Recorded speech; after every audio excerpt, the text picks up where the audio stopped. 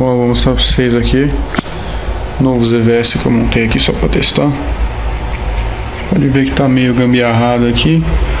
São dois IRFP 260, um flyback bem pequenininho, um capacitor da Epicus de polipropileno de 1,5 microfarad de 400 volts.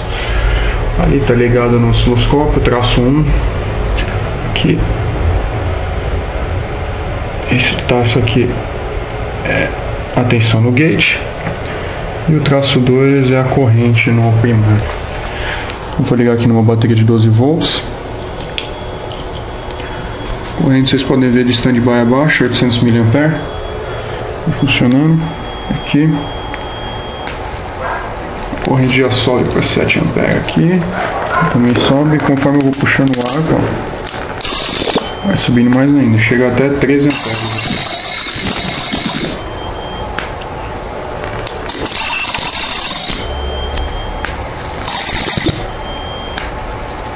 muito bem. Pela tensão de ruptura aqui, acredito que tem uns 2 cm, ter uns 20 kV na saída.